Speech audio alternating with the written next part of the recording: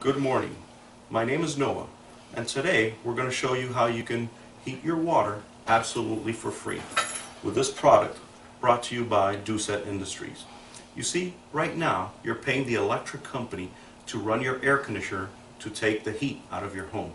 Well, what happens with that heat that's being dumped down into your yard from your outside air conditioner? Well, at the same time, you're also paying the electric company to make hot water for your shower, dishwasher, and laundry. Well, don't pay twice. That same heat that's being dispersed by your outside air conditioner can be used to heat most, if not all, of your water. And while you're heating the water, you can cut your air conditioning bill by as much as 15%. We're going to show you today how exactly you can do that.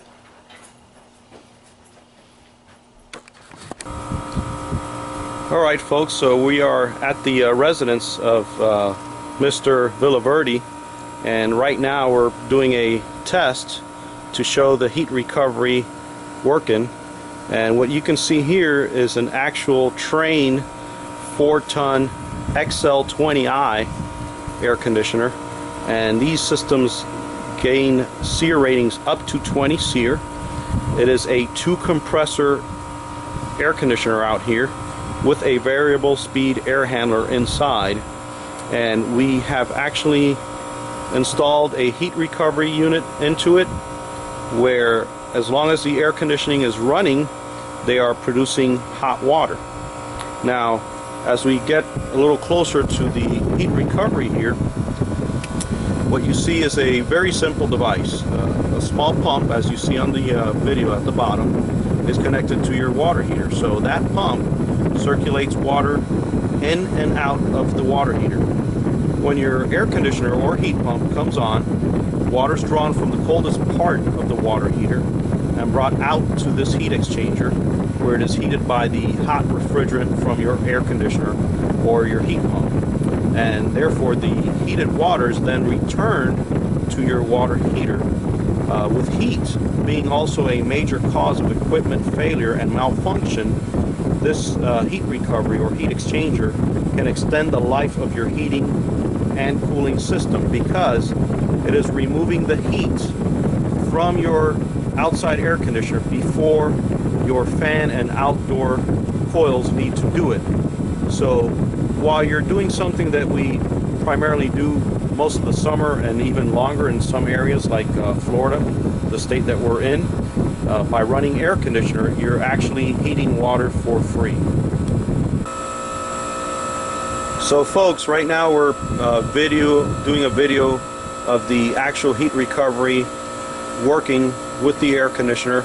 Again, this uh, this heat recovery is uh, done by Doucette Industries, and what we have right now on this Trane air conditioner is it's early in the morning. Uh, actually, it's almost at the end of the summer. It's September 20th, 2013, and right now it's 11:15 in the morning. And the temperatures that you see here on the screen on the left are refrigerant temperatures, both here and here. Now 123 degrees, again, we have this air conditioner where right now it's only running off of the smaller compressor because Trane has two compressors on their system this particular air conditioner at Mr. Villaverde's house has a 2-ton and a 4-ton compressor. Now we have the 2-ton compressor running, so it's not really running at full throttle or full, or full speed, uh, if you will. And the temperature of the refrigerant leaving the air conditioners in the 120s, and the temperature coming back after it's gone through the heat exchangers 105. So normally we would have the hot refrigerant leaving the compressor going through the outside coils of this air conditioner and the heat being dissipated through that fan. So folks, if your air conditioner has a fan, it's definitely there for a reason, to remove some of that heat. So what we did basically is take that hot refrigerant and run it through the bottom and into the heat exchanger. So you have your hot refrigerant going at the heat recovery, running through that coil there, and coming back. So if you can see the two clamps there, clamped in there, that is reflecting the actual refrigerant temperatures that we see here. So you got 125 degrees leaving the air conditioner and 105 degrees returning back to the air conditioner. So where's the uh, 20 degree difference? Well, it's going into your water.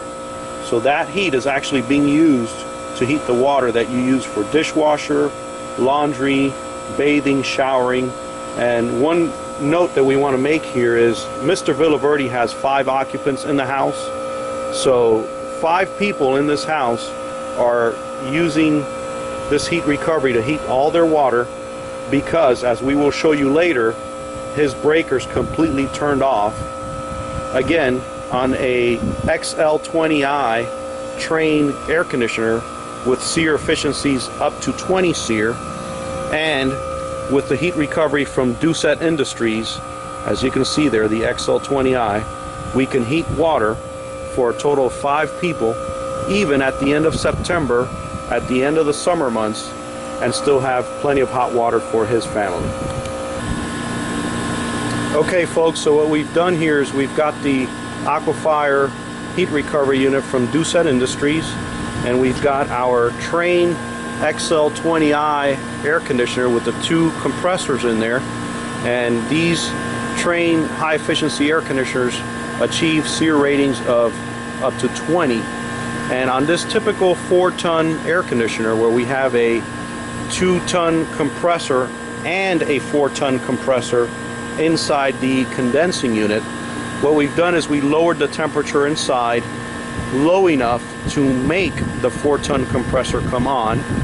And what you see here on the meter is the refrigerant temperature all the way to the right here as it leaves the air conditioner. So your hot refrigerant is leaving at about 140 degrees or more. And once it goes through the heat exchanger or the heat recovery system here, and that heat is being exchanged from your hot refrigerant to your cold water line, your refrigerant temperature coming back is at about 116 degrees. So you've got a 24, 25 degree temperature difference on your refrigerant. So on a typical air conditioner, let's say we didn't have the heat recovery from Doucette Industries here. Let's just say we had a typical air conditioner. Your refrigerant would be going through the coils out here and then the fan will be removing the heat before that refrigerant goes inside to your air handler. So on a typical install like this one, you have the hot uh, refrigerant leaving the compressor going directly into the heat exchanger or the heat recovery unit and then it's going to be removed through the outdoor coils and fan. So on this typical install here, as you can see the refrigerant temperature is still rising and there's a bigger gap between the refrigerant as it leaves us the air conditioner and when it comes back here after it's been removed at the heat exchanger. So what we're going to do, and you can see the two clamps out there, what we're going to do with the uh, Industries Aquafier heat recovery is we're not only going to check the temperatures of the pipes out here, but we are also going to check the temperature of the cold water coming into the water heater tank and the hot water coming from the heat recovery unit into the water heater tank so we can see what kind of a difference we are achieving. Okay folks, and what we've done here now is if you follow those two lines coming through that chase and into the heat exchanger here where the two clamps are tied into, those are water lines going into the water heater. So already the water that's being pulled out of the water heater is already somewhat hot but we're going to show you what the water temperature difference is between the water coming into this heat recovery and out of the heat recovery after it's been heated. So what you see here are the temperatures of the water. So 104 degrees is the temperature off to the right here, leaving the water heater tank, and 112 degrees, or almost 113, is the temperature of the water after it's been already heated using the hot refrigerant that's leaving this air conditioner. So we're also going to take some uh, temperatures inside the house, like we mentioned, on the actual water heater to show you the differences in water temperature there as well. Something else we wanted to point out too is that in Mr. Villaverde's house, as you'll see at the breaker off to the left here, it's completely off. And if we locate the uh, breaker label here, the third one that we just looked at is the water heater. So in his case, he has the water heater right here completely turned off at the breaker. So he is getting five uh, occupants in the home benefiting from free hot water just by doing something most of us do anyway, running your air conditioner. And here at Mr. Villaverde's house we have the water heater tank as you can see here.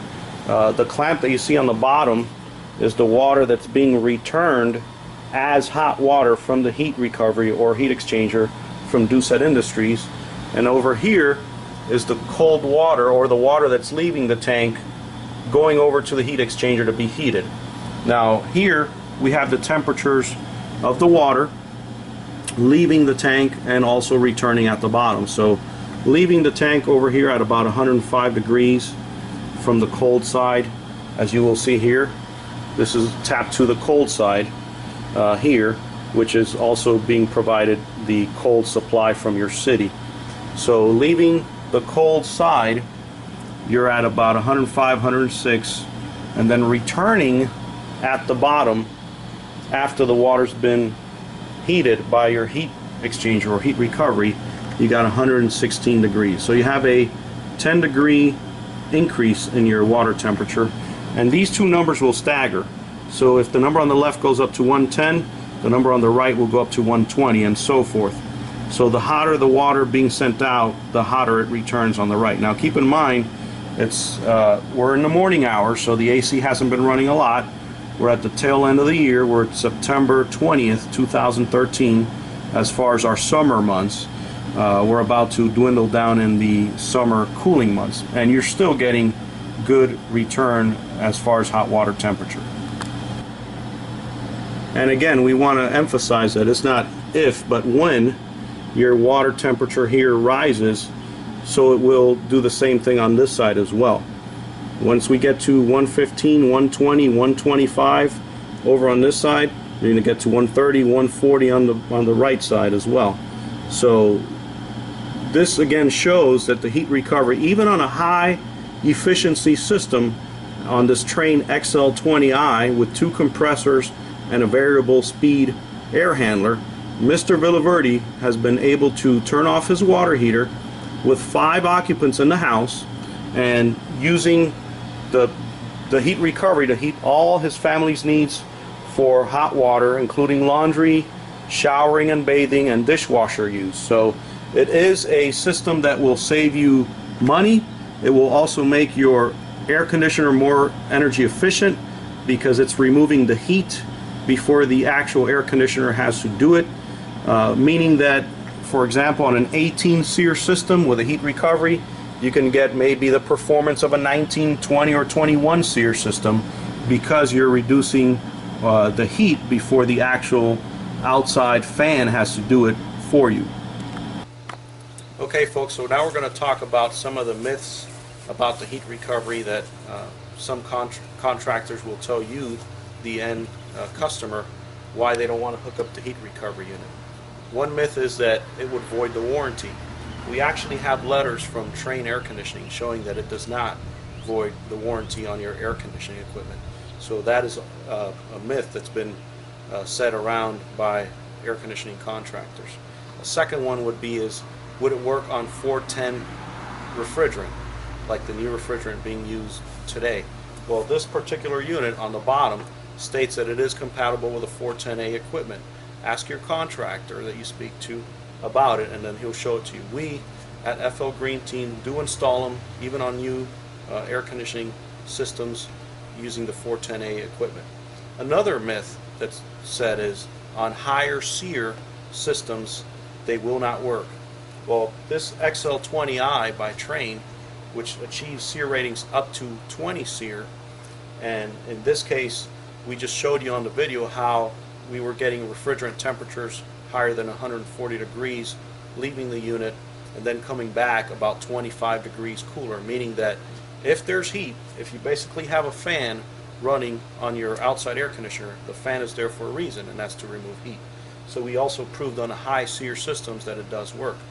Another myth is, would it work on a two compressor system?